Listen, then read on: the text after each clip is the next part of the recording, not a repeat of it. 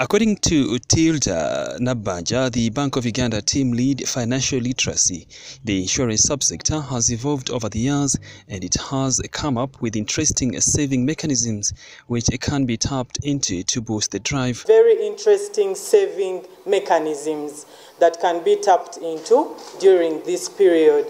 So the challenge is not exactly uh, tailor-made for the insurers association, but also all key stakeholders to get on board.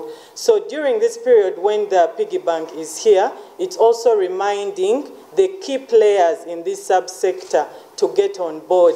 Jonah Kisakye, the UIA Chief Executive Officer, noted that the concept of saving is so essential for the financial sector because it has products that encourage members of the public to plan for uncertainties. And I will tell you that the sector, uh, specifically the subsector that I represent, which is insurance, does three things that are quite critical to savings.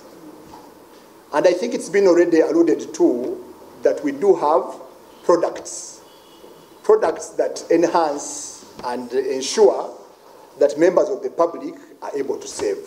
Because at the end of the day, that is the gist of this whole partnership.